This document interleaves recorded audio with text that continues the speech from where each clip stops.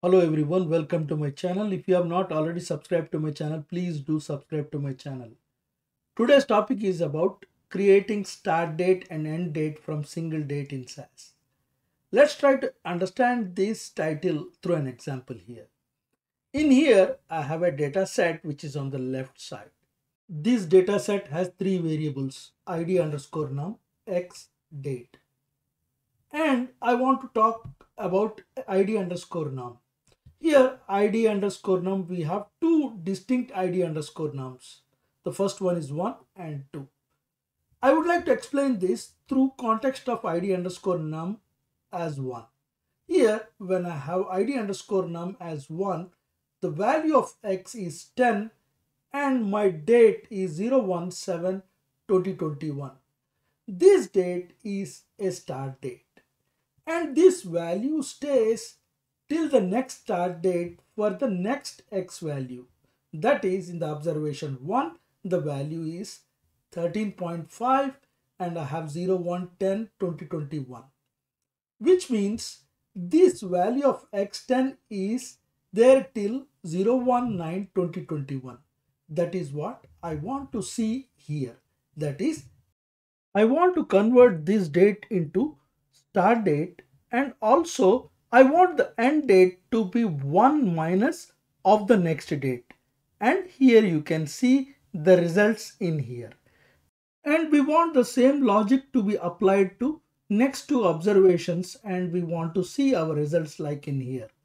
Now I want you to focus on one last observation that is observation number 4 where it is the last id underscore num value for id underscore num1 wherein we don't have any more id underscore num.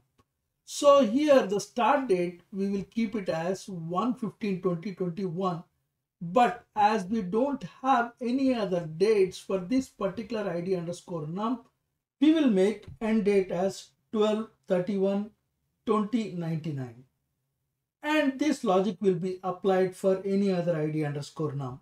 Now that we have looked into very detailed explanation about the problem, let's look into how we are going to solve. To understand this, first we need to understand a couple of concepts. The first and the foremost important concept in here we need to understand is what is merging without a by statement. To understand this, let us look into an example.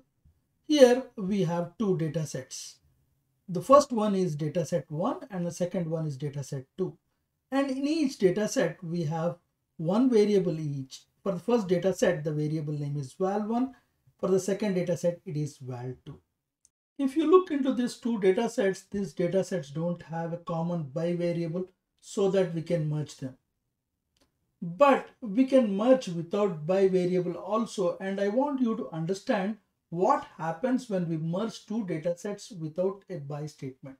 Here I am merging dataset 1 and dataset 2 without a by statement. Whenever we merge two datasets without a by statement, then what it does is it merges according to their observations. That is, observation number 1 in the dataset 1 will link to observation 1 in dataset 2 and observation number 2 will link to the observation number 2 in dataset 2 and observation number 3 in dataset 1 does not have any counterpart so we will have a missing value. This explains the results in here. Now what we are going to do is we are going to take this logic and we are going to apply this logic to our data set I want you to look into this very carefully and I would like to explain this slide little bit more in detail. Here we are merging the same data set twice. That is the test data set which I have shown you earlier. I am using that twice in my merge statement. And also I want you to look into the first time when I am using the test data set, I am saying or I am telling to rename my date variable to start underscore date. Now my test data set is something like this wherein I have id underscore num x and start underscore date. And the second test data set which I have mentioned here, I'm telling to start from firstobs equal to 2, which means I don't want the first observation, but I want to start from second observation. And also I'm renaming id underscore num variable to id underscore num1. And the date variable, I am renaming it to end underscore date. And as I do not want x variable again from second test data set, so I am dropping it. Now, after renaming our variables and also dropping x variable, our second test data set looks something like this. Now, we are going to merge these two data sets or SAS does this.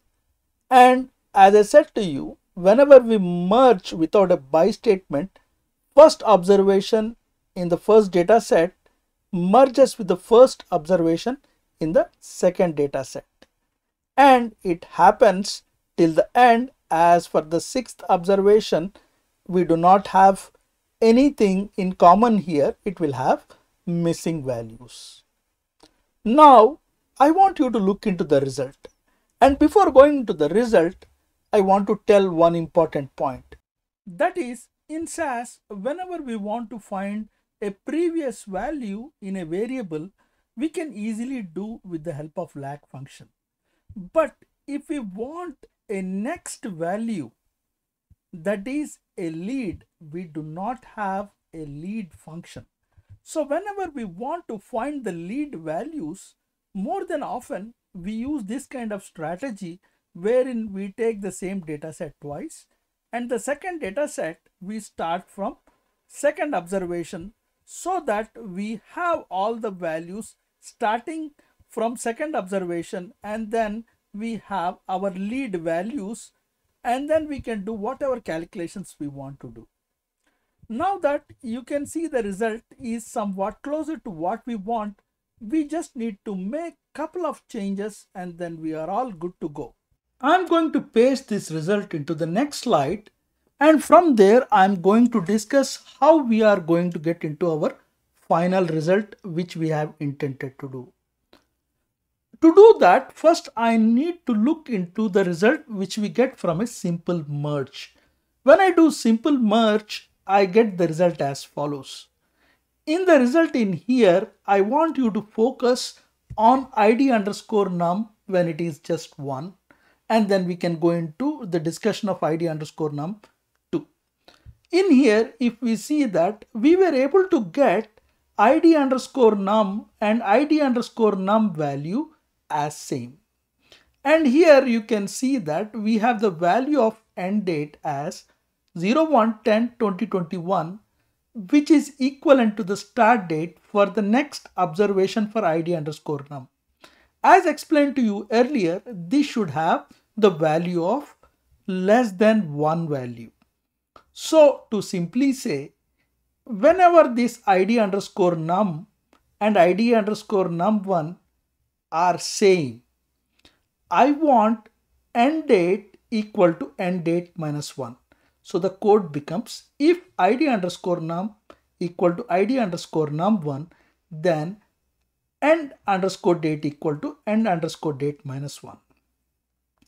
Now when id underscore num 1 has the last observation. Here we have start date as 01 15 20 21. Here if you see we have the value of id num1 of 2 and also we have the value of id underscore num1 2's value and that is 01 08 2021. So whenever this id underscore num and id underscore num ones do not match and this happens only when it is a last observation, we need to change it into 31 December 2099 and this else logic does that. And we are saying else and underscore date 31 December 2099. So whenever these are not same, this is going to make into 31 December 2099 and you can see that result in here.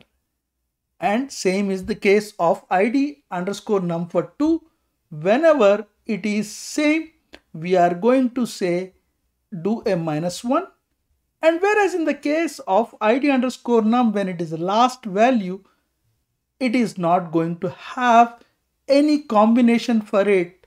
And then as id underscore num and id underscore num1 are not same, it will become 31 December 2099 as shown in the result in here. And I also want to tell one another important point before I conclude. We also need to drop this id underscore num1 to get into the result in here. Somewhere in the code I have pasted, I don't see that part. So I'm sorry for the mistake in here, but you need to drop id underscore num1.